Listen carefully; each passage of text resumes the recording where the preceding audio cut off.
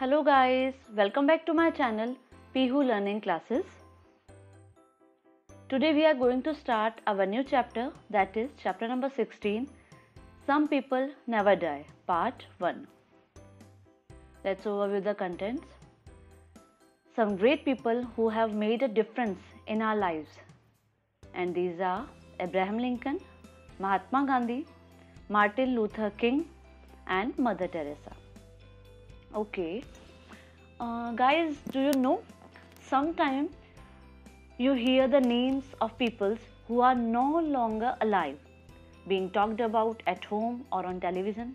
कभी कभी ऐसे लोगों का नाम सुना है जो अभी जीवित नहीं है हमारी लाइफ में नहीं है और उनके बारे में बातें होती रहती हैं या टेलीविज़न पर हमने कुछ सुना हो या देखा हो why do you think these peoples are remembered even after their death इन लोगों को इनकी डेथ के बाद भी क्यों याद किया जाता है this is so just because out of the millions and millions of people in the world there are only a few who become great they may be rulers religious leaders social workers scientists, or others who improve their lives of the people by their teaching or work.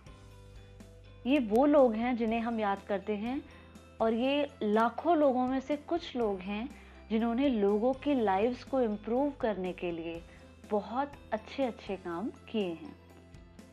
So we remember these people long after their death they always live in our memories so today we are going to read about some people who made a difference in our life so first of all we will discuss about the Abraham Lincoln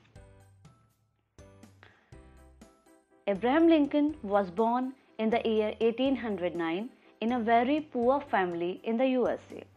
He spent much of his childhood helping his parents in their work. 1809 में USA में इनका जन्म हुआ और उन्होंने अपना ज़्यादातर childhood यानी बचपन अपने पेरेंट्स की हेल्प करने में लगा दिया ही attended school for less than one full year in his entire life और उन्होंने पूरी लाइफ में अपने एक साल से भी कम के लिए स्कूल को अटेंड किया।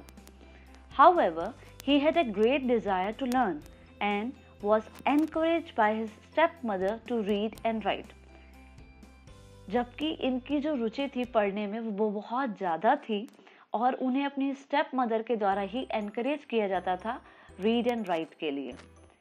He read the few books he could get over and over again और वो कुछ किताबें जो उनको मिलती थी कभी, वो उन्हीं को ही बार बार पढ़ते रहते थे। At the age of twenty two he settled in the state of Illinois after trying his hand at various jobs he became a lawyer 22 की एज में वो एलिनोइस में सेटल्ड हो गए और उन्होंने बहुत सारी जॉब्स को ट्राई किया. एट लास्ट वो एक लॉयर बने। और सिर्फ़ लॉयर ही नहीं he was very successful as a lawyer और बहुत सक्सेसफुल लॉयर वो बने। At the age of only 25 he was elected to the Illinois House of Representative और केवल 25 साल की एज में ही उन्हें इलिनॉइस हाउस का रिप्रेजेंटेटिव यानी प्रतिनिधि चुना गया। This was like the state legislative assemblies in India ये जो पोस्ट थी जिसके लिए वो चुने गए, वो हमारे इंडिया में जो स्टेट लेजिस्लेटिव असेंबलीज होती हैं दैट मीन्स राज्य विधानसभाएँ, उसके बराबर की ये पोस्ट होती है। At that time slavery was common in the USA उस समय स्लेवरी यानी दास प्रथा, यानी गुलामी बहुत कॉमन थी यूएसए में। People from Africa who were called negroes और black were kept as slaves by the white people Africa के लोग जो थे, वो स्लेव के रूप में रखे जाते थे। उन्हें ब्लैक या नेग्रोस कहा जाता था। वाइट पीपल के द्वारा उन्हें दास प्रथा को फॉलो करना पड़ता था। They could be bought and sold in the market और ये ब्लैक पीपल जो थे, इनको मार्केट में खरीदा और बेचा जाता था। They were treated badly and made to work long hours and their living conditions was very bad. और इन लोगों से बहुत गंदा व्यवहार किया जाता था। प्लस इन लोगों से बहुत लंबे दिन में कई घंटों तक काम करवाया जाता था और उनकी जो लिविंग कंडीशंस थी वो बहुत ही खराब थी। लिंकन वॉज़ अगेंस्ट स्लेवरी जो लिंकन थे, वो इस दास प्रथा के स्लेवरी के जस्ट खिलाफ थे। This made him unpopular in the southern state of the USA where people favoured slavery उनकी इसी वजह से, जो कि वो दास प्रथा को स्वीकार नहीं करते थे, उसके खिलाफ थे, उनकी इसी वजह से यूएसए के जो लोग थे, उनके लिए वो लिंकन को ज़्यादा पसंद नहीं करते थे, क्योंकि वो स्लेवरी को ज़्यादा पसंद करते थे। In 1860 Lincoln was elected president of the USA 1860 में यूएसए के प्रेसिडेंट के रूप में लिंकन को चुना गया इलेक्ट किया गया। After his election many states in the south broke away from the USA and announced that they would form a separate nation. उनके चुनाव चुनने के बाद इलेक्शन के बाद, बहुत सारे स्टेट्स जो थे साउथ के, वो अलग होना चाहते थे यूएसए से और उन्होंने घोषणा भी कर दी कि वो एक सेपरेट नेशन बनाना चाहते हैं this led to a war between the northern and southern state जिसकी वजह से नदर्न और सदर्न स्टेट में वॉर की कंडीशंस पैदा हो गई which lasted for four years और ये वॉर चार साल तक चली। It is called the American Civil War इसे ही अमेरिकन सिविल वॉर का नाम दिया गया। The war was won by the northern states backed by Lincoln, and the USA remained a united country. Lincoln के द्वारा समर्थित जो लोग थे नर्दर्न स्टेट के, उनके द्वारा ये वॉर को जीत लिया गया और यूएसए जो था, वो वापस से ही एक यूनाइटेड कंट्री के रूप में बना रहा। Even before the war ended Lincoln made an announcement giving freedom to the three million slaves in the USA war के ख़त्म होने से पहले ही लिंकन ने एक अनाउंसमेंट कर दिया और उसमें जो यूएसए के तीन मिलियन स्लेव्स थे, दास थे, उनको उस दास प्रथा से मुक्ति उन्होंने दिला दी।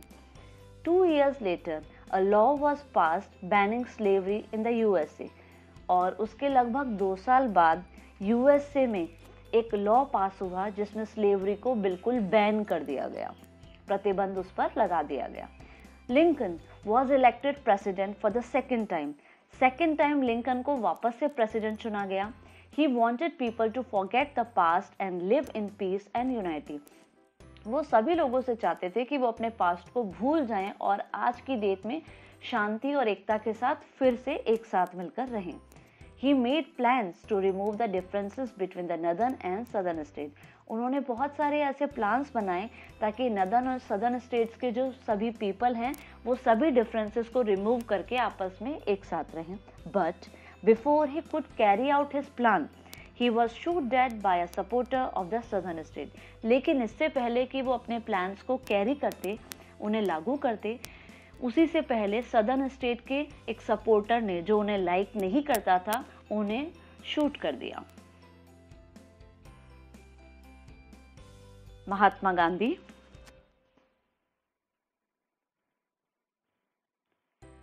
Mohandas Karamchand Gandhi. Was born on 2nd October 1869 at Porbandar इन गुजरात हम सभी जानते हैं कि महात्मा गांधी का पूरा नाम मोहनदास करमचंद गांधी है, जो कि 2 अक्टूबर 1869 में पोरबंदर गुजरात में पैदा हुए। At that time the British ruled India और उस समय पे इंडिया पर ब्रिटिश का शासन था। He studied law in England उन्होंने अपनी लॉ इंग्लैंड में पूरी की।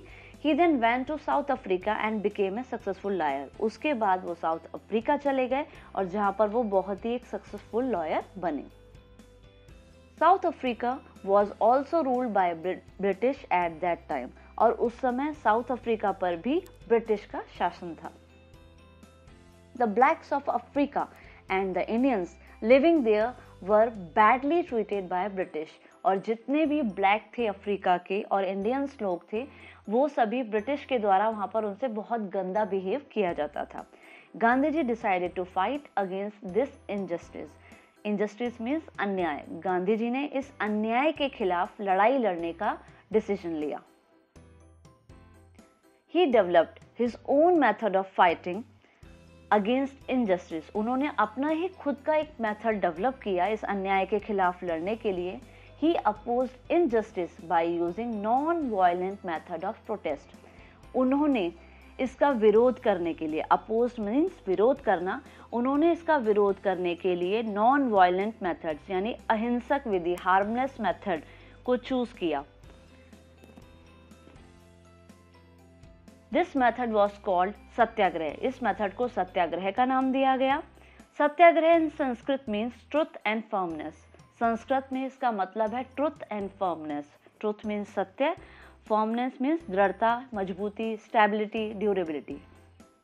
His method was successful and he became very well known in south africa and india.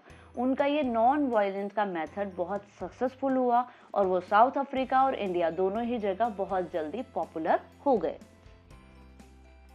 Gandhi ji return to India after spending more than 20 years in South Africa South Africa में 20 years से ज़्यादा spend करने के बाद वो India वापस आए। He decided to continue his struggle against the unjust British rule in India using the weapon of satyagraha उन्होंने इंडिया में आकर भी जो ब्रिटिश के खिलाफ ये लड़ाई लड़ने का कंटिन्यू करने का डिसीज़न अपना रखा और उस डिसीज़न के लिए उन्होंने सत्याग्रह को अपना हथियार बनाया। He launched his non-cooperation movement in India in 1920. 1920 में उन्होंने अपना non-cooperation movement launch किया He spread rapidly all over the India और ये movement जल्दी ही पूरे इंडिया में फैल गया People silently opposed British and did not become violent even when beaten by the police. इस मूवमेंट के अकॉर्डिंग लोग साइलेंट होकर ब्रिटिश के खिलाफ लड़ते रहे जबकि पुलिस के द्वारा उन्हें कितना भी पीटा गया हो, उसके बावजूद भी वो सब साइलेंट रहे।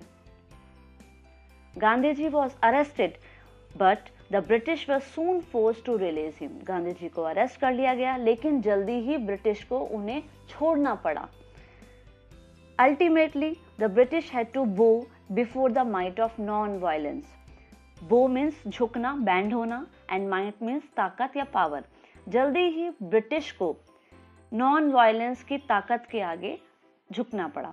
And India became free of British rule on 15 August 1947 और इंडिया को 15 अगस्त 1947 को फ्री कर दिया गया ब्रिटिश शासन से।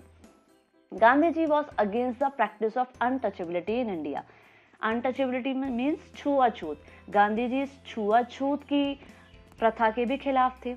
He did a lot for the untouchables उन्होंने अछूतों के लिए बहुत कुछ किया।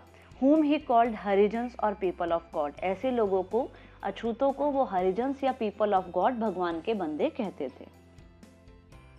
He also worked for Hindu Muslim unity in India and was heartbroken when India was partitioned into India and Pakistan. उन्होंने हिंदू मुस्लिम एकता के लिए भी बहुत कुछ किया इंडिया में, लेकिन उनका दिल जब टूटा, जब इंडिया को इंडिया और पाकिस्तान में बांट दिया गया।